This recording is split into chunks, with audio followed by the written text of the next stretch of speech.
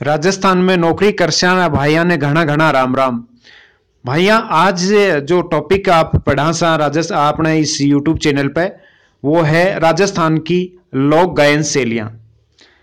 काल की जो क्लास में आपने पढ़ा, वो पढ़ा राजस्थान के लोकगीत जिसमें केसरिया बालम मोरिया, कुर्जा, सुंगलिया, हिचकी, कामन, सीठने, पावना, ये सब लोकगीता काल की क्लास में आप पढ़ा आज की क्लास में आप पढ़ा हाँ राजस्थान की लोक गायन शैलियाँ, जिसमें मांड गायन शैली और मांगलियार, लंगा और तार, तालबंदी जो गायन की शैलियाँ हैं, इनके बारे में पूरी डिटेल से आज की इस क्लास में आप पढ़ेंगे। राजस्थान जीके की रेगुलर क्लास होती है, नियमित रूप से क्लास हो रही है। आप चैनल को सब्सक्राइब करो और रेगुलर जो क्लास होती है, ये आप अवश्य अटेंड करें। और घंटी के निशान पर क्लिक कर दें, जिससे जो रेगुलर क्लास होती है, उसका स्टडी मटेरियल आपको समय पर मिल पाए।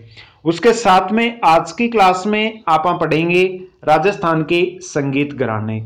राजस्थान में अगर देखा जाए तो संगीत का मामला में राजस्थान पूरे भारत में ही नहीं, विश्व में अपनी पहचान बनाए हुए है।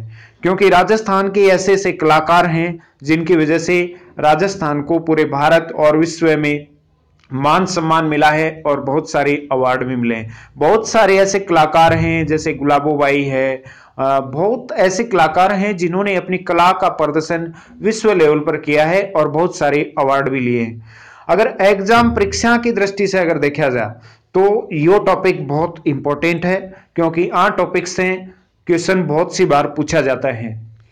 राजस्थान की लोक गायन शैलियाँ, मांड शैली, प्राचीन समय में, यानी कि पहले के समय में, जैसलमेर क्षेत्र को मांड कहा जाता था। जैसलमेर क्षेत्र को क्या कहते थे? मांड कहते थे।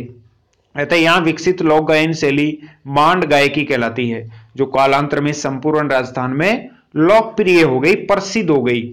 मतलब जैसलमेर को जो क्षेत्र था ना, उनके गाया करता मांड गाया करता तो उत जो लोकगीत गाया करता वहाँ जो लोकगीत गाए जाते थे, उस वजह से क्या हो गया कि मांड गायन लोक शैली एक प्रसिद्ध हो गई राजस्थान की।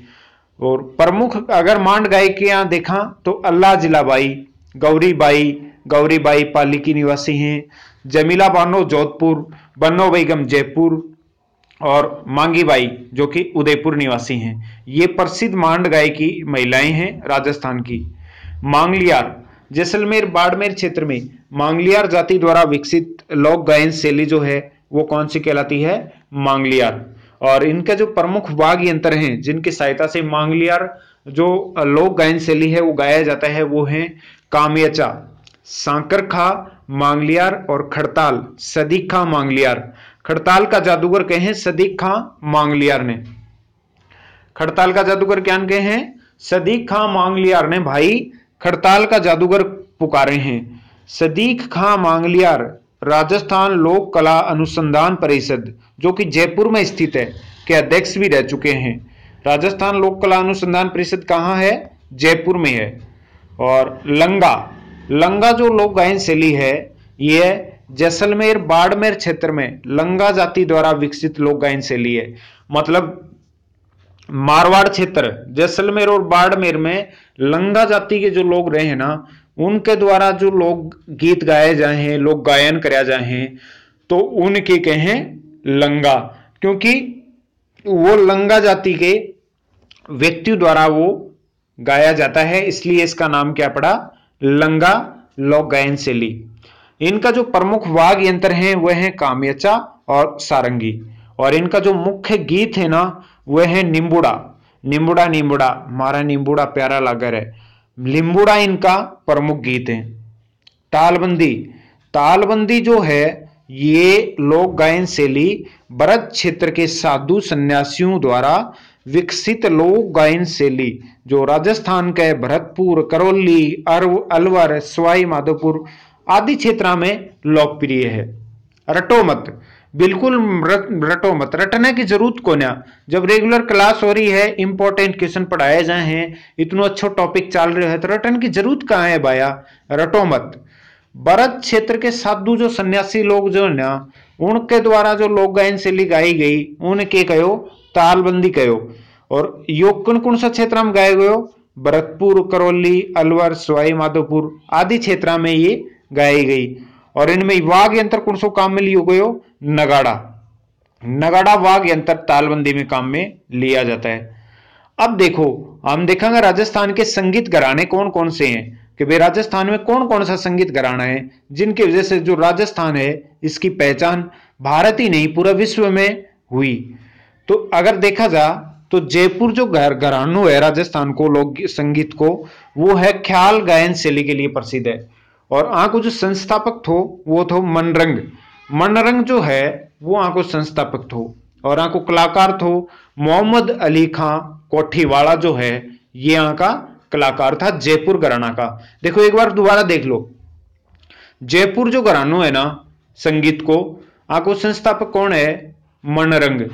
और दूसरा कलाकार कौन है यहाँ का? मोहम्मद अली खां कोठीवाड़ा। और पटियाला पटियाला घरा। पटियाला घराना। जयपुर घराने की एक शाखा जो है, वो कौन, क्या कहलाई? पटियाला घराना। और इसके संस्थापक अली बख्श फतेह अली, और इन्हें आलिया फतू भी कहा जाता है, जो टोंक के नवाब ने इनको उपाधि दी थी, जनरल कर्नल की। और गुलाम अली, अतरौली, जयपुर घराने की शाखा है, और साहब खां द्वारा गाया जाए, और मानतोल खां, रुलाले को फरकरी, मेवाती घगरे नजीर खां, किराना बंदे अली खां, भीमसेन जोशी, रोशन आरा बेगम, गंगूबाई हैंगल और उस्ताद रजन अली। ये जो मुख्य घराना है ना, राजस्थान का, ये घराना है। डागर जो घरानो है राजस्थान को, आका संस्थापक था बहराम खान डागर और राम सिंह द्वितीय के दरबारी था ये। और बिनकार जो घरानो है, आका संस्थापक था रज्जब अली खां बिकनार। और अल्लाह दिया खां, जो घरानो है आको संस्थापक है, अल्लाह दिलिया खां। और इनका अन्य जो कलाकार हैं, वो हैं किशोरी अलमाक्सर। सेनिया घराना सूरत सेन। रंगीला घराना रमज़ान खान। और कथक जो घरानो है आँखों संस्थापक हैं बानूजी बानूजी कथक घराना का संस्थापक हैं। अब देखो, अब बात करा राजस्थान भारत के शास्त्रीय नृत्य की।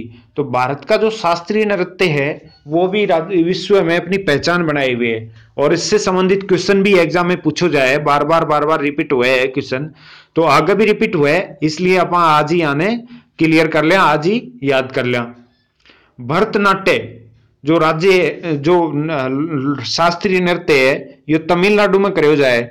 कहाँ कराया जाता है किया जाता है भरतनाट्य?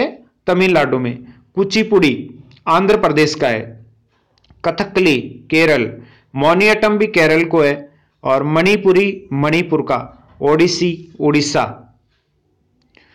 सचित्रा, असम, कथक, जयपुर और लखनऊ का ये प्रमुख शास्त्रीय लोक नृत्य हैं। अब देखो, एक बात आवे है कि राजस्थान के लोक गीतों की विशेषता क्या है? क्योंकि राजस्थान में जो लोकगीत हैं, ये अपनी विशेषता के कारण ही तो जाना जाए। भैया, और तो लोकगीत तो घना ही गाली है। टेप डेक में भी गाली है, हरियाणा वाला भी लोकगीत गाली है। लेकिन राजस्थान के लोकगीतों की विशेषता क्या है? क्यों पहचान है राजस्थान के लोकगीतों की? क्यों भारत ही नहीं, विश्व में लोकगीत गाए जाते हैं राजस्थान के?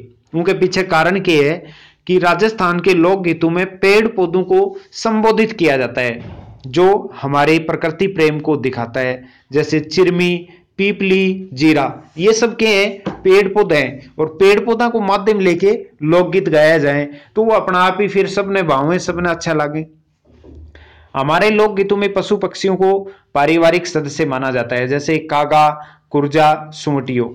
और राजस्थान के लोकगीतों से हमारी सामाजिक मान्यताओं का पता चलता है। लोकगीतों से हमारी संस्कृति एक पीढ़ी से दूसरी पीढ़ी में स्थानांतरित होती है और हमारे लोकगीतों में श्रृंगार रस का वर्णन होता है, लेकिन इनमें अश्लीलता नहीं है। और राजस्थान के लोकगीतों की एक विशेषता यह भी है कि इसमें विभिन्न जाति जनजातियों के लिए रोज़गार के साधन बने। राजस्थान के लोकगीतों से विभिन्न संगीत घराने तथा लोक गायन शैलियाँ विकसित हुई और राजस्थान में सामंती वातावरण बने जैसे वीर रस को गीत गायो स्टार्ट हो और आशा का संचार भी यहाँ गीत निराश में फैलिया और राजस्थान के लोकगीतों से क्षेत्रीय जो विशेषता और धार्मिक स्थिति को भी पतो चल है, जैसे उन्हें बढ़ावा मिला है और राजस्थान की पहचान देश ही नहीं, पूरा विश्व में हुई है। तो यो थो आज को टॉपिक राजस्थान की प्रमुख लोक शैलियाँ। और इसमें आपने पढ़ियो कि राजस्थान के जो संगीत घराना है, वह मांड गायकी, मांगलियार और तालबंदी। और राजस्थान के जो संगीत घराने हैं यहाँ से रिलेटेड क्वेश्चन एग्ज़ाम में एक बार ज़रूर आवेगो कोई भी एग्ज़ाम की आप तैयारी कर रहे हो तो यह टॉपिक आप ज़रूर पढ़ना। इसको भूलना मत। और चैनल ने सब्सक्राइब नहीं करे है तो सब्सक्राइब करके जो घंटी को निशान है, आप पे क्लिक कर देना और इस पे ऑल पे निशान पे क्लिक कर देना। जैसे काल की जो क्लास होगी उनको नोटिफिकेशन आप पे सेम टाइम पे मिल जाए thank you so much all the best